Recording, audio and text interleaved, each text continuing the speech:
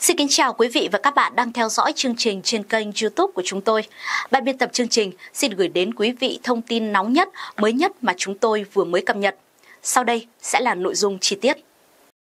Trước thông tin đá tặc lộng hành ở Bình Định, thấy dân tới gần, chúng hung tợn dở thói côn đồ phản ánh nạn khai thác đá trái phép tại núi Hòn Trà trên địa bàn hai phường Bùi Thị Xuân, Trần Quang Diệu, thành phố Quy Nhơn, Bình Định. Đoàn công tác của Ủy ban Nhân dân tỉnh do ông Phạm Anh Tuấn, Phó Bí thư tỉnh ủy, Chủ tịch Ủy ban Nhân dân tỉnh làm trưởng đoàn tổ chức đi kiểm tra phương án đảm bảo an toàn trong mùa mưa bão và giải quyết tình trạng khai thác khoáng sản trái phép tại khu vực núi Hòn Trà. Tại buổi kiểm tra, Chủ tịch Ủy ban Nhân dân tỉnh Phạm Anh Tuấn bày tỏ lo ngại khi chứng kiến nhiều diện tích núi Hòn Trà bị khai thác đá một cách nham nhở trong nhiều năm mà không ai biết và không có biện pháp. Đáng lo ngại hơn, đất đá có thể sụp đổ bất cứ lúc nào Trường hợp mưa lớn, đất đá có thể sẽ đổ dồn xuống nhà máy của các doanh nghiệp và nhà ở của nhân dân.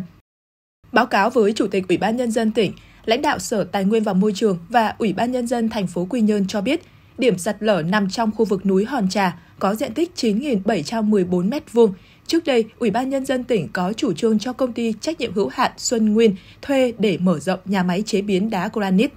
nhưng sau đó tỉnh thu hồi vì quá trình thực hiện tận thu đá để mở rộng mặt bằng của công ty ảnh hưởng rất lớn đến môi trường, đời sống của nhân dân trong khu vực.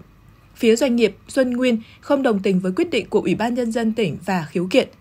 Vấn đề không giải quyết triệt để khiến trong suốt nhiều năm qua, tình trạng khai thác khoáng sản trái phép trong khu vực vẫn diễn biến hết sức phức tạp. Công ty trách nhiệm hữu hạn Xuân Nguyên bỏ mặc không phối hợp khắc phục tình trạng này – việc lấy trộm đá tại núi Hòn Trà diễn ra nhức nhối nhưng không được giải quyết vì vượt thẩm quyền của phường, của thành phố. Chính quyền sở tại có đi kiểm tra thì mọi thứ vẫn tiếp diễn bình thường vào ngày hôm sau. Nguyên do là giấy phép của công ty này đang tranh chấp với Ủy ban Nhân dân tỉnh và đang chờ quyết định của tòa án cấp cao. Chủ tịch Ủy ban Nhân dân tỉnh Phạm Anh Tuấn khẳng định tỉnh luôn tạo điều kiện thuận lợi để doanh nghiệp đầu tư phát triển sản xuất kinh doanh bền vững, nhưng việc khai thác phải thực hiện nghiêm, tuân thủ đúng theo quy định của nhà nước, khai thác tận thu khoáng sản phải có đầy đủ cơ sở pháp lý, đúng chữ lượng đã được cấp phép cũng như quá trình khai thác phải đảm bảo môi trường an toàn cho người dân và doanh nghiệp, đồng thời thực hiện đầy đủ nghĩa vụ nộp thuế. Chủ tịch Ủy ban nhân dân tỉnh Phạm Anh Tuấn lưu ý hai vấn đề đối với các doanh nghiệp đang hoạt động tại khu vực này. Thứ nhất,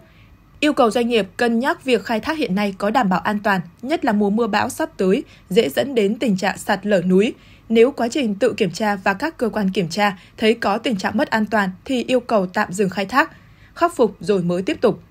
Thứ hai, việc kiểm tra giúp Ủy ban Nhân dân tỉnh đánh giá lại tình trạng khai thác khoáng sản trên địa bàn để từ đó có định hướng phù hợp. Ông Phạm Anh Tuấn yêu cầu công ty trách nhiệm hữu hạn Xuân Nguyên phải phối hợp với ngành chức năng, chính quyền địa phương, nhanh chóng đưa ra phương án phòng chống sạt lở đất đá tại khu vực nói trên, đảm bảo an toàn trong mùa mưa bão, đồng thời quy trách nhiệm cho công ty nếu có vấn đề gì xảy ra.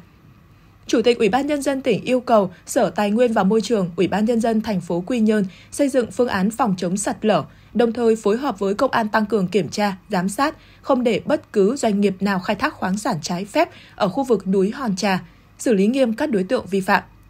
Nếu tiếp tục để xảy ra tình trạng khai thác khoáng sản trái phép gây sạt lở thì Sở Tài nguyên và Môi trường và Ủy ban nhân dân thành phố Quy Nhơn phải chịu trách nhiệm trước Ủy ban nhân dân tỉnh. Chủ tịch Ủy ban nhân dân tỉnh Phạm Anh Tuấn khẳng định việc khai thác khoáng sản tại khu vực núi Hòn Trà trong tương lai phải đảm bảo hài hòa giữa lợi ích kinh tế và gìn giữ môi trường cũng như cuộc sống của người dân. Vì vậy, về lâu dài cần tiến hành giả soát quy hoạch, phân loại và lựa chọn doanh nghiệp tuân thủ theo pháp luật để cấp phép khai thác.